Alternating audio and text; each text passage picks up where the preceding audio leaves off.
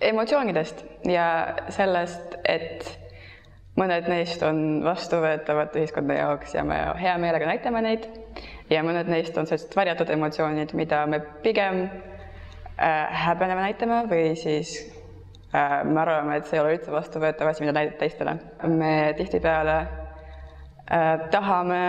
ennast näidata just äh, sellistena, nagu me arvame, et teised tahaksid meid näha. Aga sees ikkagi keeb mingisugune teine maailm, mida me varjame. see on üks mu hea sõber Jan Teevet, ta õpib praegu lavakas.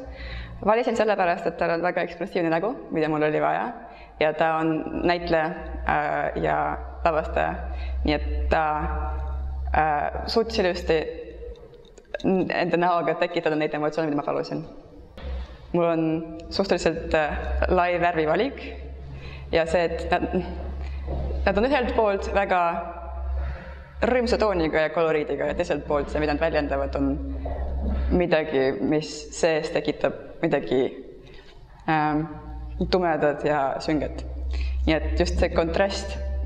minu enda elus kui ka maali peal tundus minu jaoks huvitav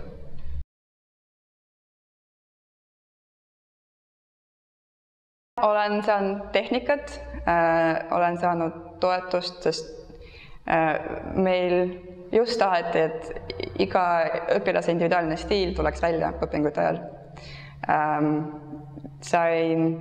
aega, sest see kindlasti on niisugune asi, kunstiga tegeleme, tegeleme, tegelemine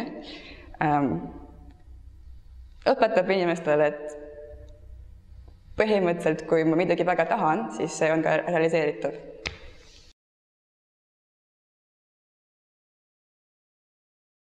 mina arvan, et sellest on väga kahju, et nüüd pannakse kinni. mina oleks äh, väga selle poolt, et see jääks alles, sest mina isiklikult sain sellest väga palju abi, et ma olin just ülikoolis ja ma sain just neid aineid juurde võtta, mis mind huvitasid. kui õppida ainult kunsti, see on muidugi äh,,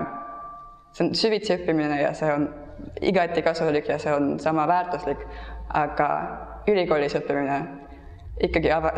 avardab silmaringi palju rohkem, sest ülikool pakub nii palju erinevaid aineid ja nii palju erinevaid teadmisi, mida lihtsalt ainult kunsti õppides ei saa muidu